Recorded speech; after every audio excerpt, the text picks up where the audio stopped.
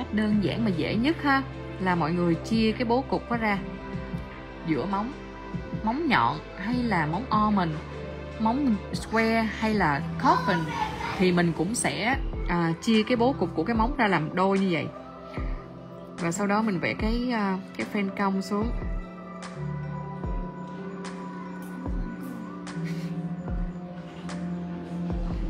Đó đây là cái cách mà mình vẽ cái deep friend cái fan thường thì mình vẽ xong rồi mình clean bằng cọ clean fan. Nhưng mà còn cái này á là mình dạng mình vẽ deep fan nha mọi người là fan cong á. Đó. Nếu mà cái cọ của mình xài trong cái chai treo mà nó cái bản nó hơi dày chút xíu và uh, nó thẳng nó không có bị cong thì mình sẽ dùng để mình tô luôn. Còn nếu như mà nó trong chai nước sơn này á sometimes sẽ có những cái chai cái cỏ nó bị cong. Thì mình có thể dùng những cái cọ khác. Mình lấy cái chai, mình lấy cái nước sơn này ra thôi. Mình lấy cái treo ra thôi và mình dùng cái cọ khác để mình tán nó.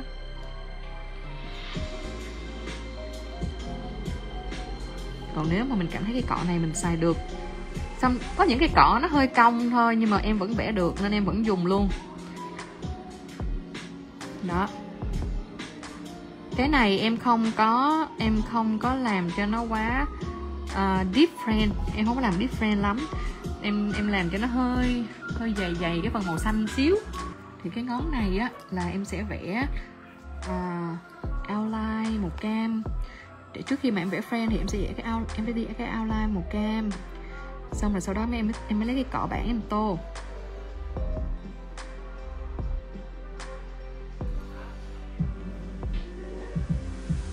Mấy anh chị coi mà thấy nó bị ao khỏi màn hình thì nhớ nói em.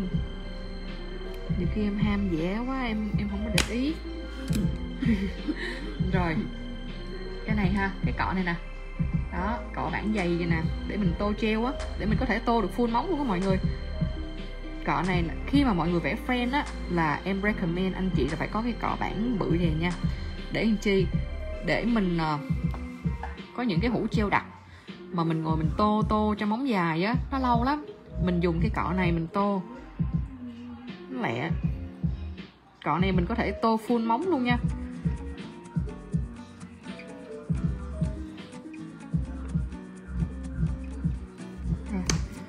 Mình sẽ đi cái cọ nét của mình lên trên cái nét nhỏ trên đây.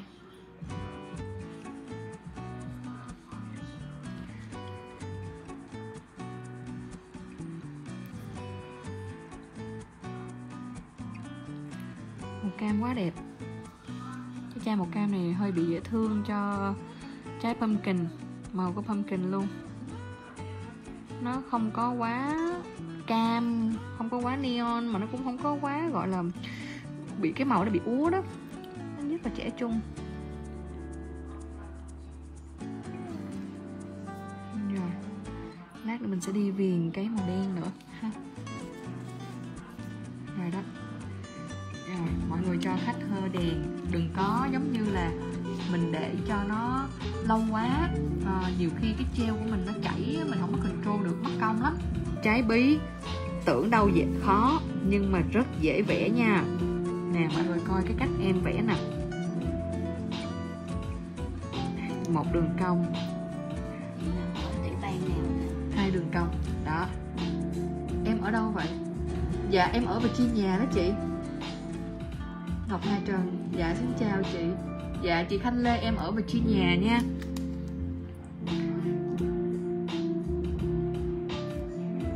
Virginia thì mùa thu rất là đẹp.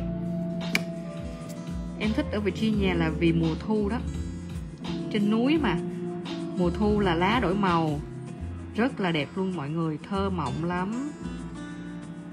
Mấy bữa nay thì à, bão nè. Dịch vụ du lịch ở đây nè. Yeah. Ở trên đây Blue Ridge Mountain là là tụi em á Là tụi em đang ở Blue Ridge Mountain nè. Đó thì ở trên em á là có cái cái khu resort gọi là Wintergreen là ở trên đó là, là mùa đông này là người ta tạo tuyết nhân tạo nữa mọi người. À, thì để cho mình chơi trượt tuyết này nọ nữa vui lắm.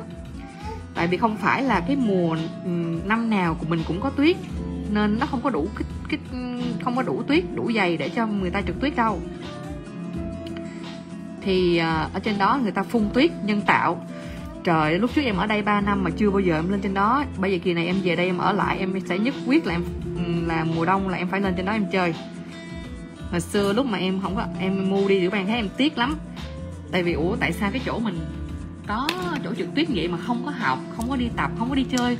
Đi ngang qua dòm thôi là thích lắm, mà không có vô. Cái đi mấy tiểu bang khác á, về đồng bằng mình ở cái mình hối hận nha. Nhưng mà không sao kỳ này em về em quyết tâm em đi chơi lại. Rồi bây giờ mình vẽ cái outline thì cái outline mình uh, mình cần cái uh, cái line nó nó vừa không quá dày cũng không quá mỏng. Nên khi mình lấy treo xong đó thì mình vuốt ra một chút xíu nè để cho cái, cái lông cọ của mình nó nó nó đều treo mà nhưng mà nó không có bị động ở ngay cái đầu. Để cho cái cái line của mình mình khi mình kéo đó nó nó đều nó đều cái treo ha.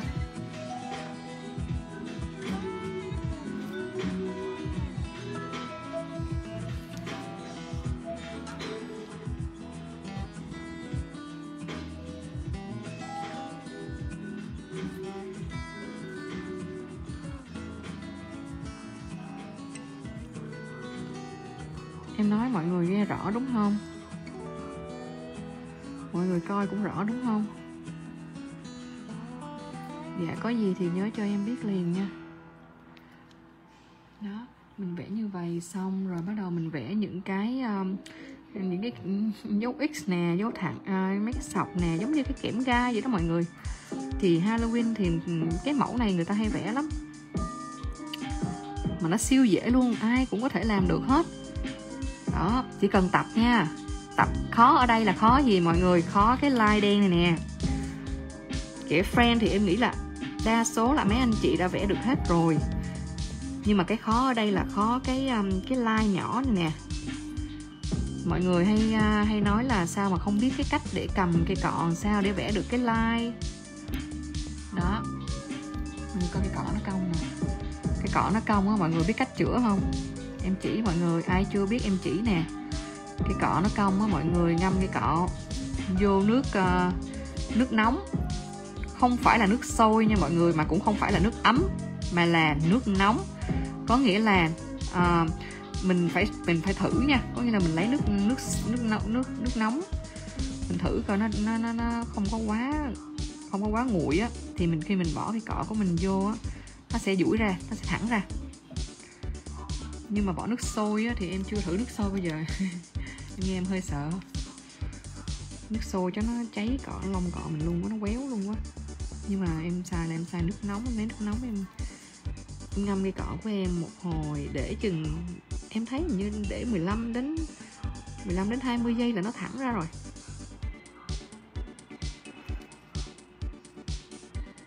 Mọi người có cái cọ nào mình cong á thử làm thử nha.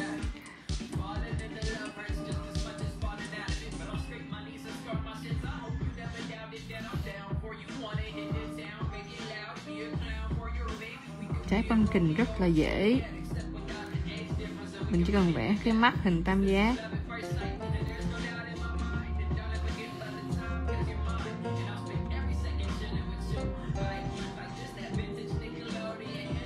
Mọi người, ai mà chưa biết vẽ cái trái này, mình tranh thủ mình tập nha. Tại vì chơi mượn tại vì khách người ta vô sẽ đòi rất là nhiều.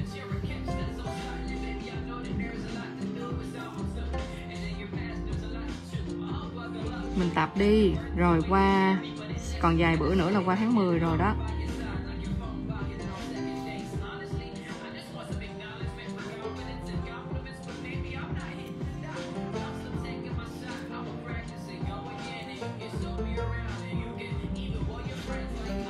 Đó, mọi người thấy em làm không? Cái miệng dưới á, thì mình đi. Mình đi như vậy ha. Nè cái cái ở trên thì mình đi một đường qua ở giữa mình vẽ chữ V xong mình nói một đường qua. Nhưng mà cái môi ở dưới á, thì mình sẽ kéo một đường xong mình đi thêm một cái chữ V úp ngược nha. Một cái dấu, dấu ớ đó. Một cái dấu ớ. Xong ở giữa mình đi cái dấu ngang qua và mình vẽ thêm một cái dấu ớ nữa. Rồi mình nối mấy cái điểm nó lại với nhau. Và bắt đầu mình tô.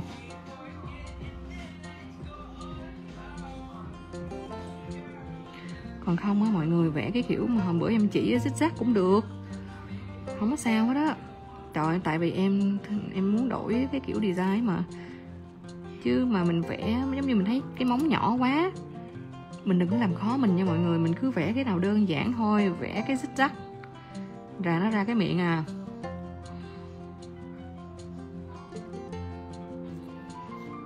Đôi khi á, cái móng khách nhỏ quá mình mình đừng có ép mình làm những cái căng thẳng quá mình cũng không có thích design.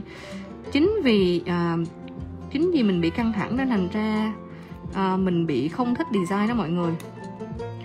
Còn mà mình vẽ mà trong cái tâm trạng mình vui á mình thích thú á mình mới vui được làm nail mà mình phải có theo tâm trạng nữa giống như em mà khách mà đưa cái bộ móng nào mà em không thích á. Trời em làm nhưng mà em cũng không có vui.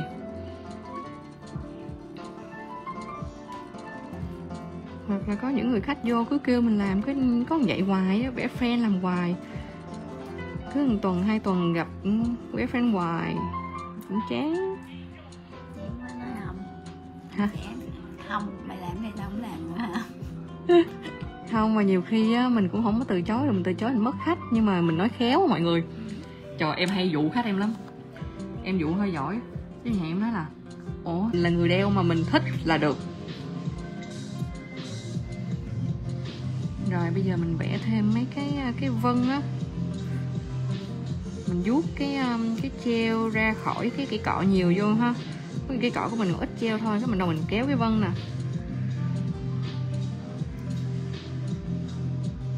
Chứ mình làm cái gì á mình cảm thấy vui là được nha mọi người. Còn ý kiến của người khác làm sao đó là chuyện của người ta đi. Tại vì tay của mình mà. Em là em thấy vậy đó. Mình thấy được là được.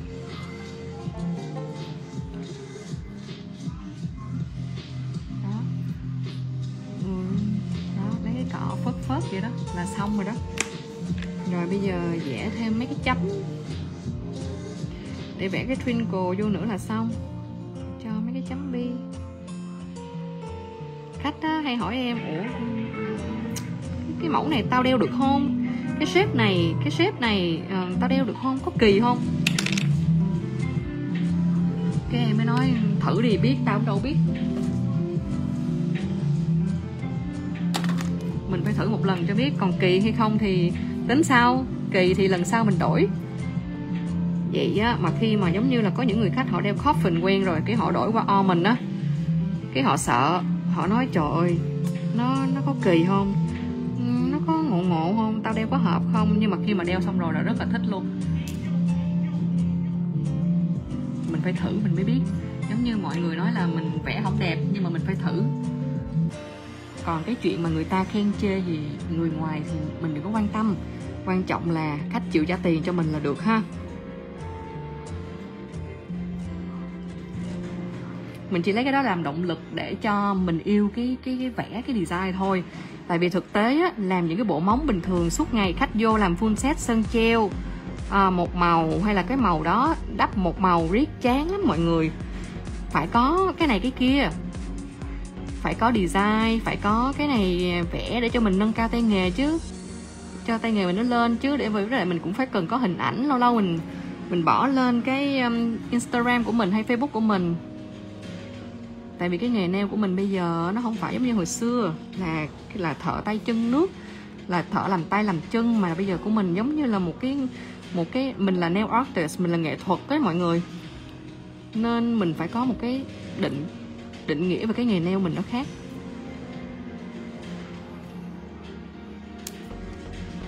Mình phải làm cho mình có cái gì đó gọi là yêu nghề, động lực á, để mình yêu cái nghề của mình.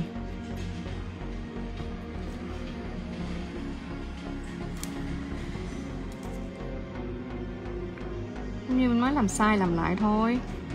Ai, đâu có ai mới đầu vô nghề hoặc là mới tập cái gì đó mà đẹp đâu. Em mới đầu em vẽ cũng xấu lắm, là do mà em chịu khó em luyện thôi. Nè, vẽ méo nè. Vẽ méo lấy lấy cái cọ liên fan clean thôi, đâu có gì đâu không có gì mà phải ngại hết á. Đó. đó rồi xong, gạch mấy đường nha. Vẽ friend cũng vậy, đâu phải lúc nào em cũng vẽ hoàn chỉnh đâu mọi người. Lúc có lâu lâu em cũng bị tổ chát em cũng bị vẽ ủ méo xẹo đó. Đâu có gì đâu. Mình cứ lấy cái cọ mình chùi thôi. Nên mọi người cứ tự tin lên.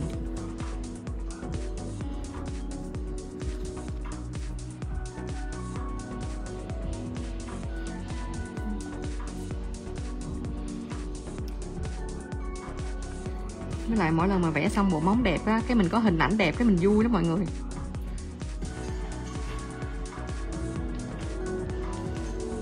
Em là rất là chăm chút cho bộ móng của em, tại vì em em cần hình ảnh. Em rất là thích hình ảnh đẹp. Nên lúc nào em cũng chăm chút cho những cái gì mà em, những cái bộ móng của em hết. Khách của em hay là da cuticle em chăm chút kỹ lắm, sếp này nọ. Để về sau đó em có hình ảnh đẹp. Rồi cái này cũng vậy luôn nha mình cũng phiền. Đó. Nhiều anh chị nói là không biết cái cách để cầm cái cọ sao kéo. Ở đây em chỉ cho. Đó, mình kéo nè. Mình à, mình kéo bằng cái đầu cọ. Nhưng mà tới khi mà mình thấy cái đầu cọ của mình bắt đầu vơi vơi cái treo rồi thì mình sẽ đè cái bụng cọ xuống. Và cái nét mình kéo càng dài thì cái cọ mình càng nằm nha. Lúc đầu mình mới kéo kéo mình sẽ đừng đứng cái cọ lên đứng cái cọ cái đầu cọ, mình dùng cái đầu cọ mình kéo. Nhưng mà tới đoạn giữa giữa móng là mọi người nằm cái cọ xuống kéo cho em ha nằm xuống. Để chi? Tại vì trên cái bụng cọ của mình nó có rất là nhiều treo mình cần lôi cái treo đó theo. Thì lúc đó thì cái nét của mình vừa cái cái cái treo mình nó đều. Và cái nét của mình nó một đường thẳng nữa.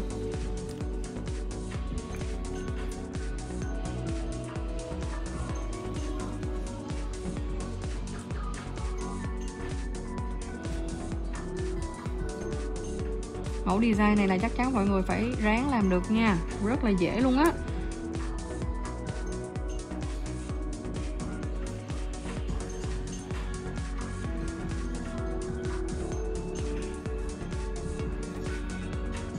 Cái mẫu này là mọi người có thể dùng cái chai cọ. Ừ cái cây cọ trong cái chai treo á. Trong chai treo vẽ tiệm mình lúc nào cũng có nè. Mà cọ mà không cong á, mình vẽ được luôn. Mình mình tô frame xong rồi mình lấy cây cọ đó mình màu đen như cam màu đen mình vẽ mấy cái line luôn. Cái móng từ trên xuống dưới mình chia mình mình mình, mình gạch. Mình à, chia làm đôi ha là như vậy.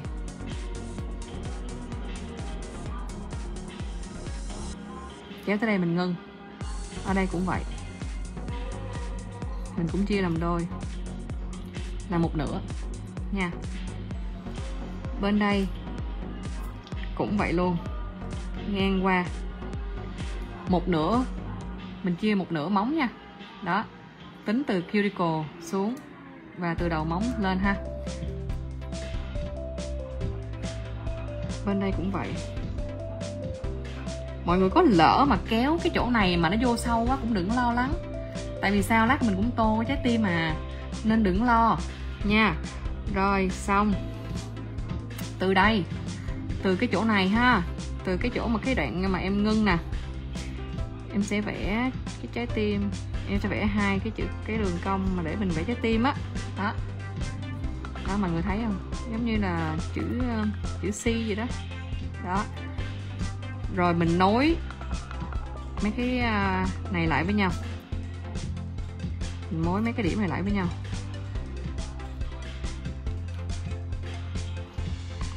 Lỡ mà có lem vô trong giữa không sao.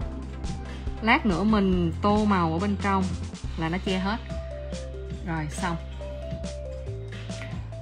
Ở đây, từ cái cái nửa, một nửa trái tim góc bên đây, mình cứ kéo làm đôi thôi. Mình cứ chia ra làm đôi méo xíu không sao nha mọi người màng nhện mà nó đâu đều đâu. Đừng có đạo áp lực cho mình. Đó mình cứ nhắm làm đôi là nó làm đôi còn lỡ lệch xíu cũng không sao. Làm một lần méo thì lần sau làm đẹp. Rút kinh nghiệm thôi. Bên đây trái tim màu xanh thì bên đây trái tim màu cam hả? Muốn vậy hả? Tại em thấy nó kế bên trái pumpkin màu cam rồi. Vẽ màu xanh đi. Cam nhiều quá rồi. Chị này mê màu cam. Em mê màu xanh.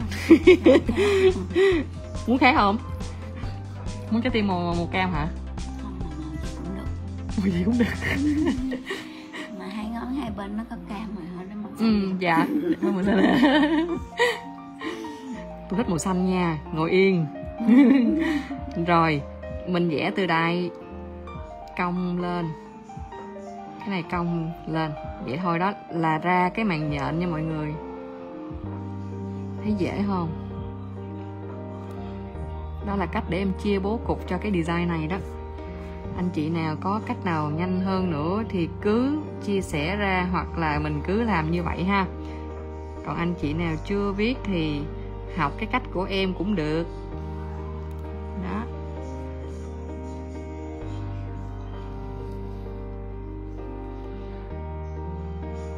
Em mê nhất là màu xanh đó mọi người mà em hiếm khi nào em đeo móng màu xanh. Em hiếm khi mặc đồ màu xanh. Em toàn là đồ đen với đồ trắng không?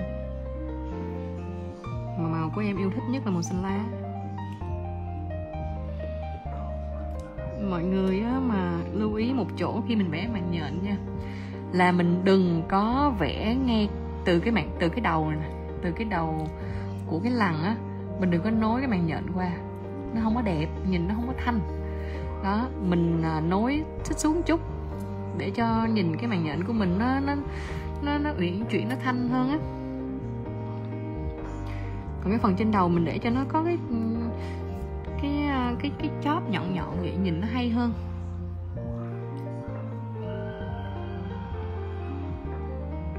Với lại tùy theo cái độ độ dài của móng nữa mọi người.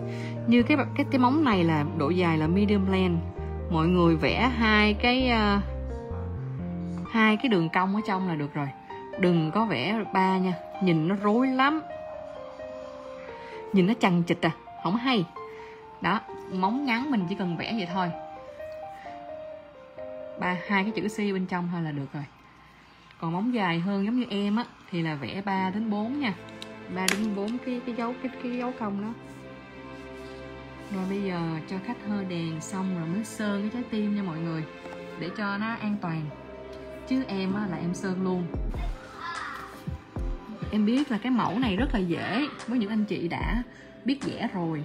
Tại vì cái mẫu này rất là phổ biến luôn. Cái mùa Halloween nào khách cũng đòi vẽ cái cái màn nhện này hết. Nhưng mà có những anh chị mới chưa có biết cách để chia cái cách vẽ như thế nào thì vậy hôm nay mới hướng dẫn ha. Rồi sau khi mình hơi đèn xong thì mình sẽ tô ở trong. Bởi vậy hồi nãy em nói lỡ mà mình có vẽ uh, hai hai cái đường bốn cái đường đó nó nó chụm vô nhau quá cũng không sao đừng lo tại vì mình sẽ tô màu. Sẽ che lại hết.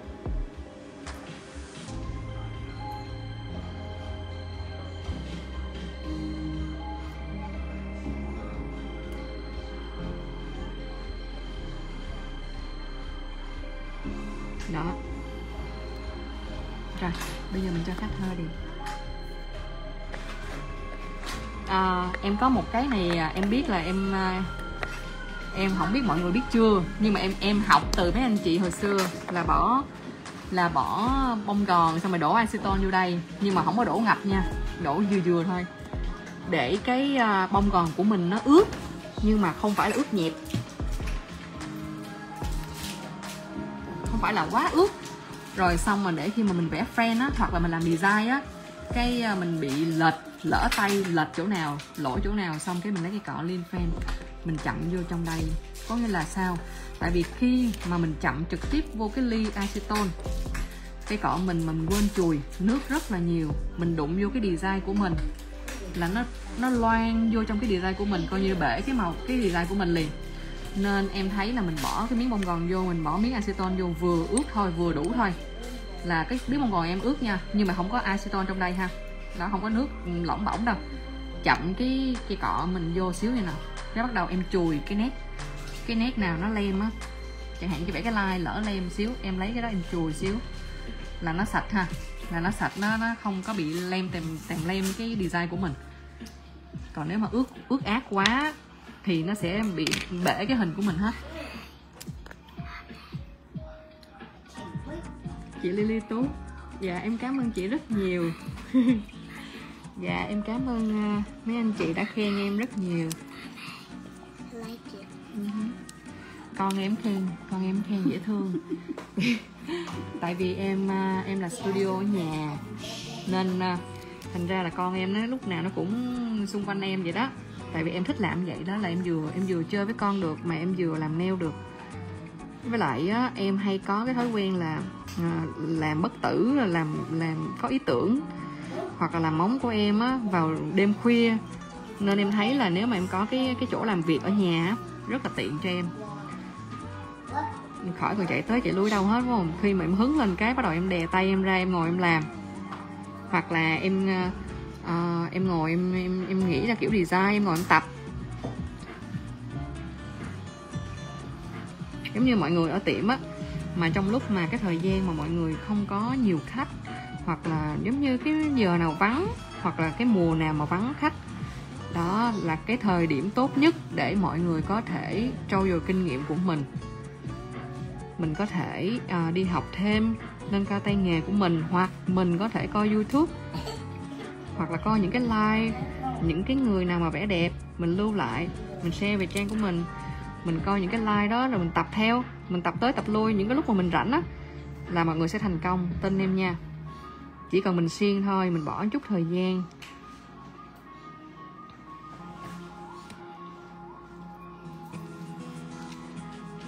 Khi mà mấy anh chị bỏ top coat lên, đừng bao giờ quên mình chùi hai bên móng để giữ cho cái shape của mình nó đẹp nha mọi người. Lúc nào em cũng nhắc mọi người hết, nhưng mà em vẫn thích nhắc hoài.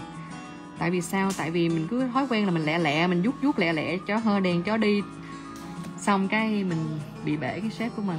Đó mình mất điểm liền. Đây là đã xong cái à, bộ design ngày hôm nay. Mọi người à, cùng ngắm lại một lần nữa nha. Rồi để em xoay cái à, camera lại chụp diện với cái móng.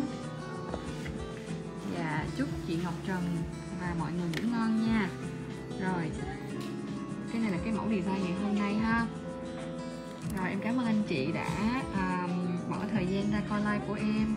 Uh, chúc anh chị có một uh, buổi tối uh, ngủ ngon và vui vẻ bên gia đình nha. Và chúc anh chị ngày mai mình có lên tiệm mình tập đó thì sẽ thành công ha. Hoặc là mình vẽ trên tay của khách được khách thích nha. Design đơn giản rất là dễ thương. Em hẹn mọi người vào tuần sau. À, vào vào ngày thứ ba nha. Tại sao bước cuối cùng hơn 60 giây không phải là 90 hay 120 giây? Ồ chị Hoa Đàn Dạ tại vì cái đèn của mình nó hơn 60 giây là đủ rồi chị. 60 giây treo mình chỉ hơ một phút là nó hoàn toàn khô rồi. Nên chị không có cần phải hơ quá lâu nha. À, chị Quyên cảm ơn cô Chết chia sẻ tận tình tỉ mỉ. Bạn nào cần học kèo 11 thì đăng ký nhé. Sau khi học về em làm tốc tốc độ hơn nhiều. Trời cảm ơn chị Quyên. Dạ chị Quyên là chị mới học à, 11 với em đó mọi người chị lái xe từ um, tiểu bang West Virginia qua qua bên em á cũng gần thôi hai tiếng rưỡi. Dạ em cảm ơn chị à, rất nhiều nha. À, cảm ơn mẹ. Mẹ mẹ em cũng vô coi. Dạ cảm ơn. Dạ không có gì chị hoa Đoàn. Anh chị nào có thắc mắc gì cứ hỏi em ha. Rồi em chúc mọi người ngủ ngon.